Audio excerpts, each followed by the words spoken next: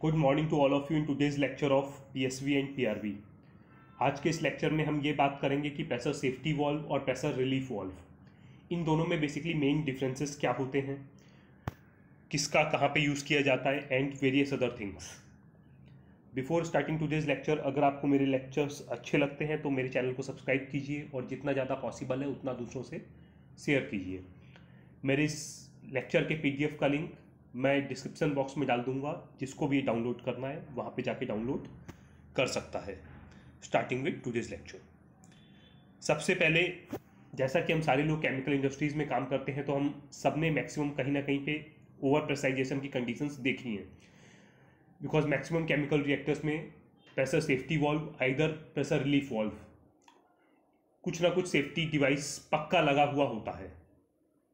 अब इनकी ज़रूरत क्यों पड़ती है? ऐसी कौन सी कंडीशंस होती हैं जो पॉसिबल हैं, जिसकी वजह से हमें ये कंपलसरी सेफ्टी प्रिकॉशन हो जाता है कि हमको इधर पीएसवी और पीआरवी एटलीस्ट सिस्टम में लगाना ही लगाना है। तो वो कंडीशंस हम सबसे पहले समझते हैं। सबसे पहले है मेरा ब्लॉक्ड आउटलेट जहाँ से मेरे सिस्टम का वेंट हो रहा था, मान लीजिए वो वेंट मेरा ब्लॉक हो जाता है, जिसकी वजह से मेरे सिस्टम में ओवर प्रेसराइजेशन होगा। सेकेंड मान लीजिए कहीं पे एक्सटर्नल फायर क्रिएट होती है, जिसकी वजह से अंदर मटेरियल बॉल ऑफ़ स्टार्ट होता है ओवर प्रेशराइजेशन यहाँ पे भी क्रिएट होगा।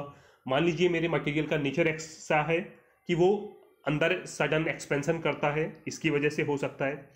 एबनॉर्मल प्रोसेस कंडीशंस लाइक काफ़ी सारे रिएक्शंस ऐसे होते हैं जहाँ पे रन अवे जाने के चांसेस रहते हैं।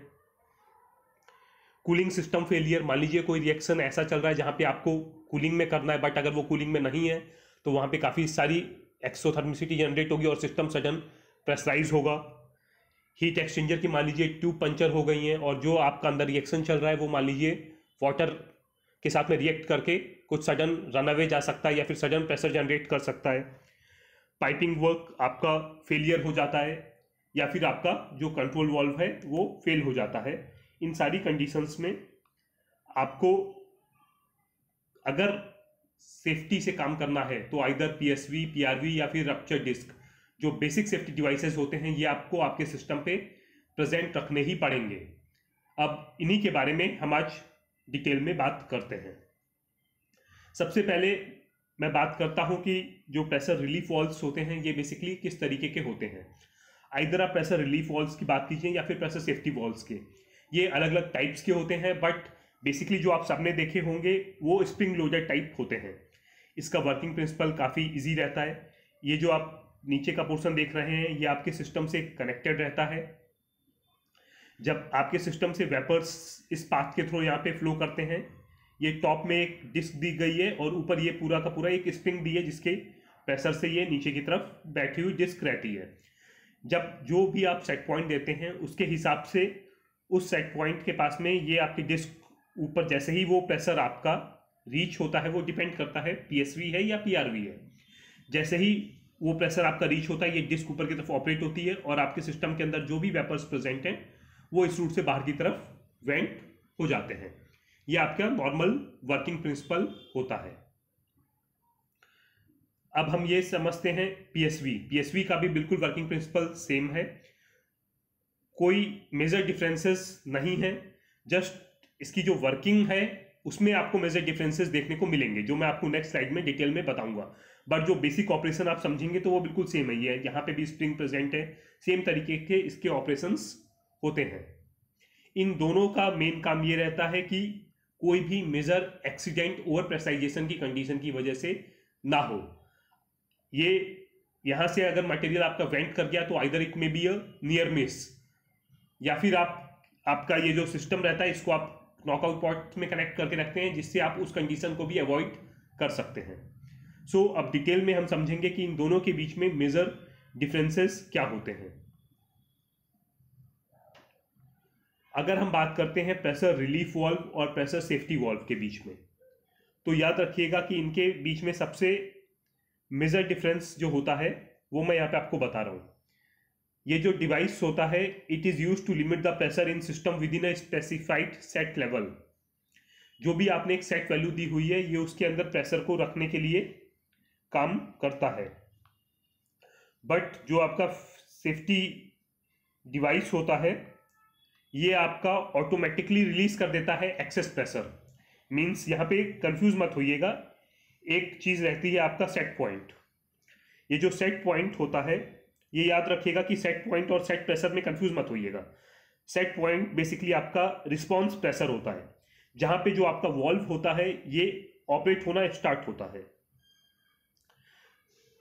सेट पॉइंट जो होता है, ये ओवर प्रेशर कंडीशंस में से नीचे आपका दिया जाता है और ये जो आपका वर्किंग प्रेशर लेवल होता है, उससे ऊपर होता है।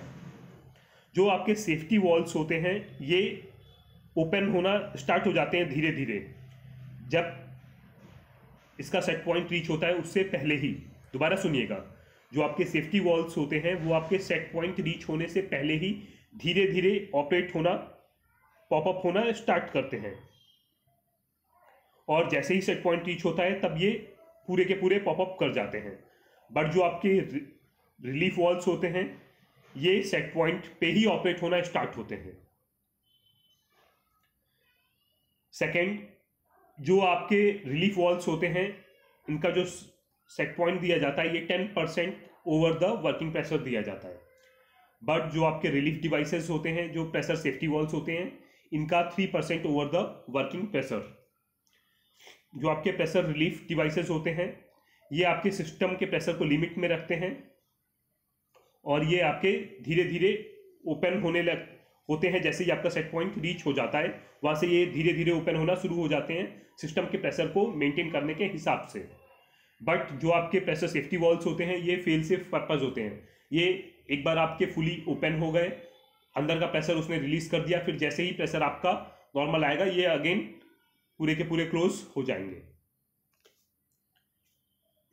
ओपनिंग जो होती है प्रेशर रिलीफ वॉल्स के केस में, ये डायरेक्टली प्रोपोर्शनल होती है कि प्रेशर कितना बढ़ रहा है सेट पॉइंट के ऊपर। ये काफ़ी अच्छा पॉइंट है, समझिएगा। जो ओपनिंग होती है प्रेशर रिलीफ वॉल की, ये डायरेक्टली प्रोपोर्शनल होती है कि मेरा जो प्रेशर है, वो कितना सेट पॉइंट से ऊपर बढ़ गया है। और क्लोजिंग जो वॉल की होती है, वो भी धीरे धीरे होती है।